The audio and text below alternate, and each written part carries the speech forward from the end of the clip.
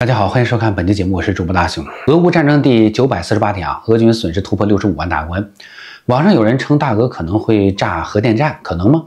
俄军在皮什察内损失惨重，乌军在果料厂俘虏了数十个俄兵。盟友国援乌步伐明显加快，德国称德军将遏制大俄未来的扩张。库尔斯克前线的战斗十分的激烈，俄军原打算呢在十月一日前将乌军赶出俄罗斯，现在看呢这一目标完不成了。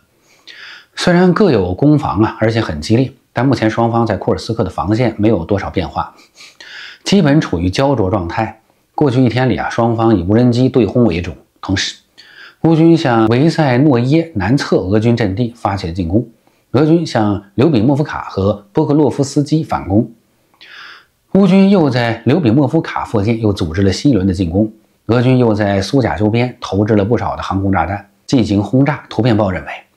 俄军在库尔斯克的反攻啊，将以失败告终。俄军坦克部队一直拖延到九月十七日才从克林尼沃向南推进，根本不会完成克宫给出的反攻计划。同时，俄军也根本啊没打算后撤，相反，还在向库尔斯克前线投入更多的部队和资源，还打算从侧翼包围反攻的俄军。目前已迫使俄军在多个方向上转入了防御。俄军继续向波克罗夫斯克和库拉霍沃发动进攻，收效甚微啊，损失不小。俄军第九十二旅昨天表示，此前一天，俄军对库皮扬斯克前线的皮什察内发动了机械化进攻，又被乌军挫败了。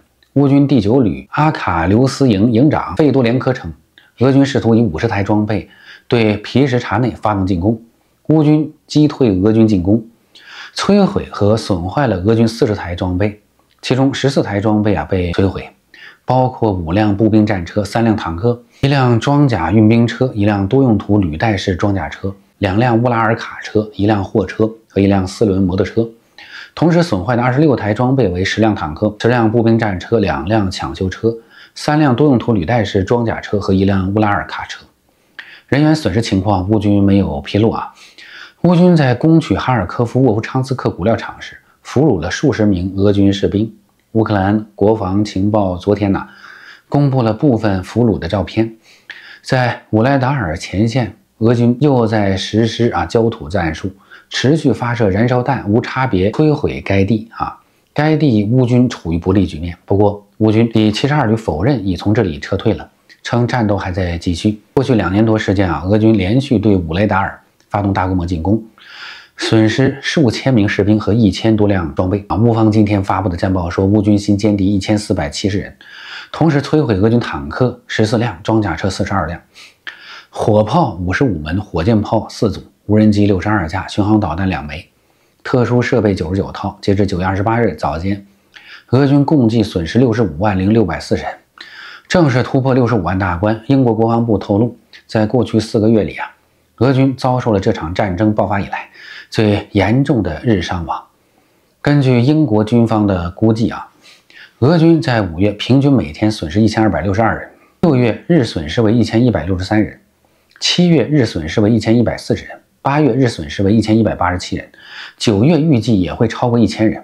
而在开战初期的二零二二年，俄军平均每天损失仅约二百三十六人至五百三十七人。到了二零二三年，开始逐步上升为七百零一人至九百六十七人。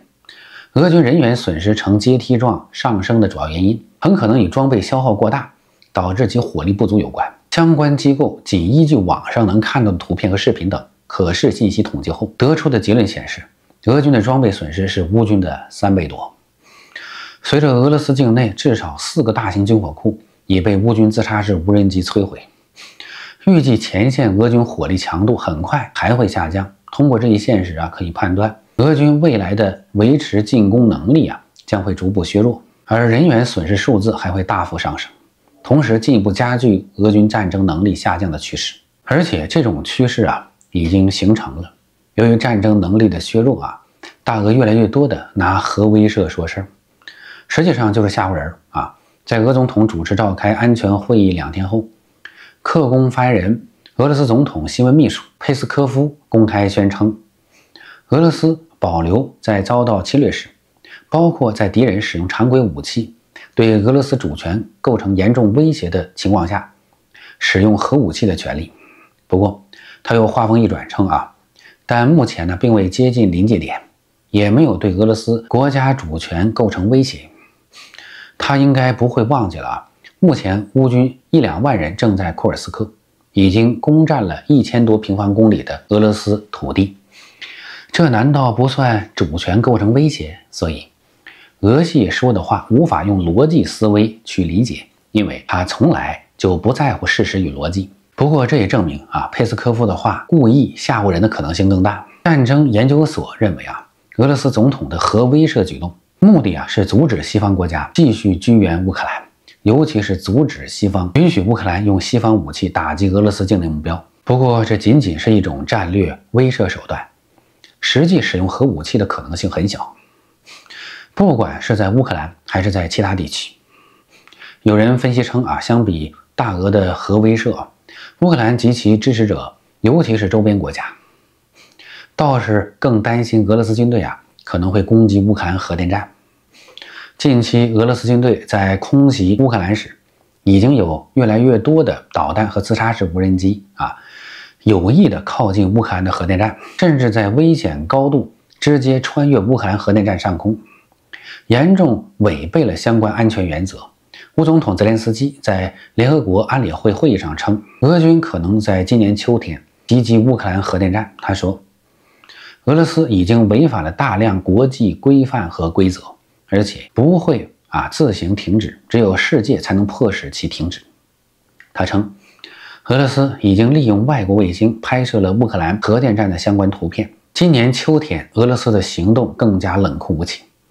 他们准备将我们的三座核电站作为攻击目标。我们掌握了相关信息和证据。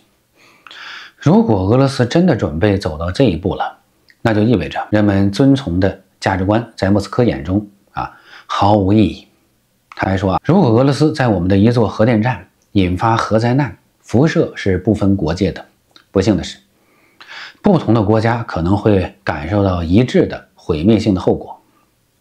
乌克兰外长。西比加也说啊，乌克兰特勤部门已将相关信息传递给我们的合作伙伴，并向国际原子能机构也通报了该情况。俄罗斯是唯一一个在欧洲夺取核电站，并以此要挟世界的国家。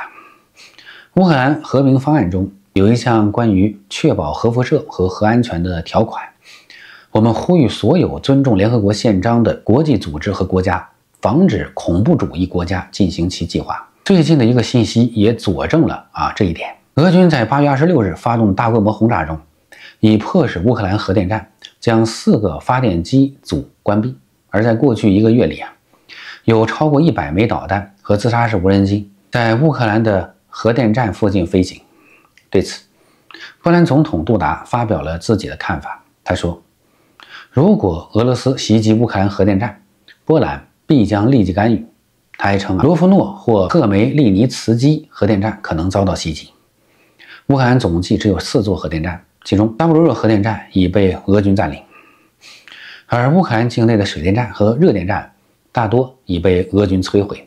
不排除一个可能，大俄为了在今年冬天给乌克兰彻底断电，俄军可能会攻击乌克兰剩下的三座核电站，并导致核事故，那后果简直不堪设想。不过这种可能性啊也不太大。如果乌克兰的核设施遭到攻击，并引发核事故，造成无法挽回的灾难，国际社会不会袖手旁观，群起围殴大俄的一幕将成为现实。德国国防部长皮斯托利斯昨天表示，德国武装部队已准备好成为遏制俄罗斯在欧洲扩张的中流砥柱。他说：“对于俄罗斯来说啊，乌克兰问题只是一个开始。”二零一四年，俄罗斯占领克里米亚后，欧洲按下了暂停键。如今，一切都在继续。他表示，德国计划在二零二七年前呢，在立陶宛部署一支全装备旅啊，部队的部署工作今年就将开始。英国外交大臣戴维·拉米昨天在接受采访时表示，预计西方国家将在初冬前批准对俄罗斯实施远程武器打击。他说，预计未来几周将采取非常强有力的立场，向乌克兰提供其所需的一切。包括解除远程武器限制，同时，英方称啊向乌方交付十六门 AS 九零自行火炮，十门已经交付完毕，很快将交付剩余的六门。此前，美国总统拜登刚宣布了一项七十九亿美元的对乌克兰国防援助计划啊。美国国务卿布林肯昨天确认，将在未来几周和几个月内啊，根据总统武器库存削减授权拨款五十五点五亿美元，用于向乌克兰提供武器和装备。据悉啊，这五十五点五亿美元的援助将从美国国防部库存中直接提取，时间会很快。另外，通过乌克兰安全援助倡议提供的二十四亿美元，交付周期可能为数月或者数年。布林肯解释了美方向乌克兰提供武器和援助的理由。他说：“乌克兰不仅在保卫自己的国家，还在维护全球和平的核心原则。如果对侵略行为啊不加制止，其他国家也可能效仿，全球稳定将面临威胁。”布林肯说：“美国并非单独行动，有五十个国家在支持乌克兰，而且美国大部分援助资金用于在美国国内生产武器。”白宫透露啊，拜登还将于十月十二日在德国主持乌克兰国防联络小组领导人级会议。本次会议的主要内容啊，是指在审查此前磋商的进展，并与国际伙伴协调为乌克兰提供更多援助。拜登承诺为乌克兰提供其胜利所需的支持。这一会议安排啊，是在乌克兰总统泽连斯基与拜登在白宫椭圆形办公室举行会晤之后确定。这进一步表明美方在支持乌克兰方面态度坚定。泽连斯基表示，他向拜登提出了乌克兰在对俄战争中的胜利计划。他说：“我们讨论了加强该计划的细节，协调了我们立场、观点和方法。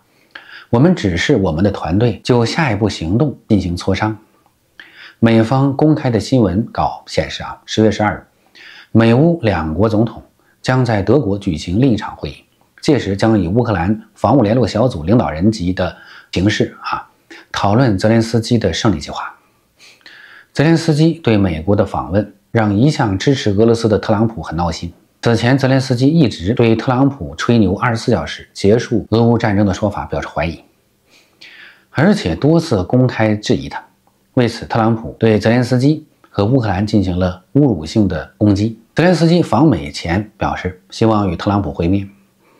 当面交流有关问题，特朗普不置可否。之后，特朗普对记者表示可能会安排会见泽连斯基。到美国后，特朗普竞选团队却表示不会见面。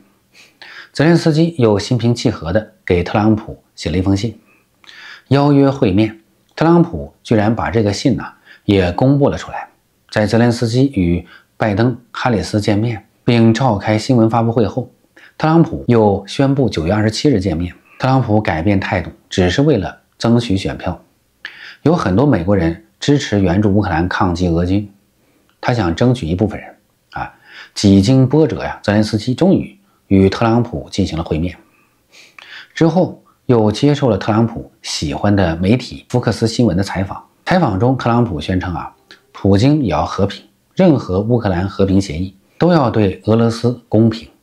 泽连斯基立即打断了他的话，说：“实现公正的和平非常重要，但是起码要承认啊，是俄罗斯入侵了乌克兰领土，屠杀了无数乌克兰人。乌克兰需要胜利的结果。时至今日啊，特朗普还在一心袒护大俄，处处为侵略者着想。各位看官明白他是个什么人了吗？啊，而民主党候选人哈里斯则与特朗普完全不一样。哈里斯。”在与泽连斯基举行的简报会上，号重申美国对乌克兰坚定不移的支持。哈里斯说：“俄罗斯的行为绝不能不受惩罚，如果不加以制止，俄罗斯不会止步于乌克兰。”哈里斯承诺啊，将尽一切努力确保乌克兰赢得这场战争。他还不点名批评特朗普啊某些和谈建议，强调这些建议的目的就是让乌克兰投降，这是危险且不可接受的。